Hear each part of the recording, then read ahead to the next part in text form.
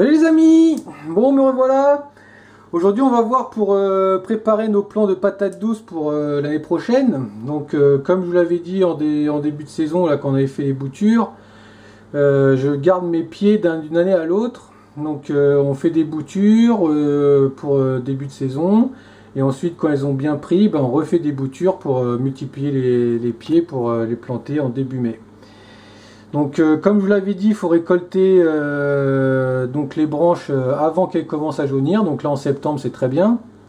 Donc là il y avait même certaines parties de la bande qui commençaient déjà à jaunir. Donc je m'y prends juste à temps. Je voulais même tester le marcotage cette année, mais j'ai pas eu le temps. En fait, le marcotage, je voulais prendre un pot avec de la tertre, mettre les branches dedans, et quand elles avaient pris racine, pouvoir couper les, une fois qu'elles avaient pris racine, les couper du pied mère, mais bon, j'ai pas eu le temps de le faire. Donc là, j'ai coupé mes, branches, vous voyez, euh, il y en a beaucoup, hein, comme ça, il y a de quoi faire. Donc on va pouvoir commencer à les bouturer, donc ça change pas, hein, c'est on prend les parties, euh, les parties basses, chaque intersection où il y a les feuilles, de préférence avec euh, les petits départs, là vous voyez, c'est des petits départs de racines. Donc par contre là le pied et après, il y a des petits départs qui partent euh, au bas à la base de la feuille. Donc là, c'est un peu noir, mais ça prendra quand même. Donc vous prenez les parties les plus belles. Donc voilà. Après, comme on avait dit, euh, on coupe les feuilles et puis euh, on garde une petite partie de la feuille. Je vais même faire des parties de plusieurs troncs d'un coup. Donc on prend bien sûr nos petits bacs habituels, hein. donc avec une, une petite serre pour garder l'humidité. Et puis ben, une fois que les pieds auront bien pris, ben, on pourra les, diviser pour, euh, pour l'année prochaine. Par contre, il faut garder ça au chaud, hein, c'est pour ça qu'on est à l'intérieur. Maintenant, faut, faut plus la patate douce, elle a besoin de chaleur. Donc euh, maintenant, c'est garder tout ça à l'intérieur jusqu'au printemps prochain. Quoi. Donc euh, ben voilà, donc ben, ce que je vais faire, c'est que je vais préparer tout ça et puis ben, je vous reprends. Allez Bien voilà, vous voyez, donc c'est terminé. Donc là, il me reste une petite euh, partie à finir, mais parce que j'ai gardé des morceaux pour vous montrer. Donc euh, j'avais déjà expliqué sur l'autre vidéo, mais bon, je vous remontre, hein, vous voyez. Donc faut bien prendre les morceaux comme ça, vous voyez, là, il y a des belles racines qui débutent. Donc euh, il arrive que le pied se marcote directement en terre, hein, donc vous n'avez plus qu'à récupérer les pieds. Mais moi, vu que j'ai paillé, ben, ça n'a pas pris racine.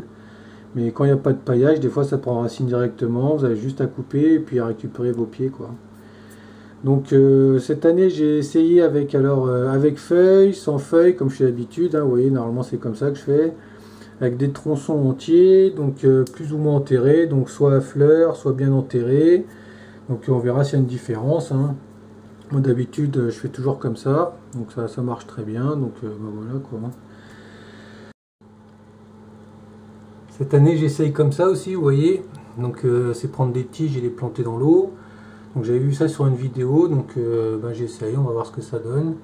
Donc euh, on prend une tige la plus longue possible, on coupe euh, toutes les feuilles comme on fait pour les autres boutures, donc les racines partiront à cet endroit-là. On garde une petite sommité avec une feuille, donc, ou alors le bout de la tige carrément. On garde une feuille ou deux et on met le maximum dans l'eau. Et il paraît que ça marche bien aussi comme ça, donc on va voir. Voilà. Bon bien voilà, donc euh, je vous montre le résultat, là on est presque trois semaines après le bouturage, donc vous voyez ça a été très rapide.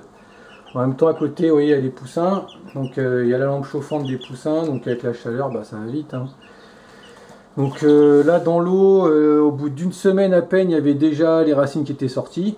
Et donc là vous voyez maintenant les, les reprises qu'il y a là, vous voyez les belles tiges, c'est bien reparti. J'avais fait le test, euh, les longues tiges euh, dans l'eau, pareil dans la terre, pour voir ce que ça donne. J'en ai mis trois par pot et vous voyez, ça, a bien repris pareil. Il n'y a, vraiment aucun problème. Vous voyez, des belles reprises à, l'aisselle des feuilles toujours.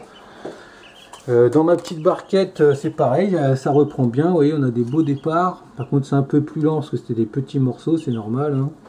Vous voyez, on a des petits départs partout. Là, on a des belles racines qui sont sorties. Donc, ça marche très bien. Donc avec les gros morceaux c'est quand même plus rapide.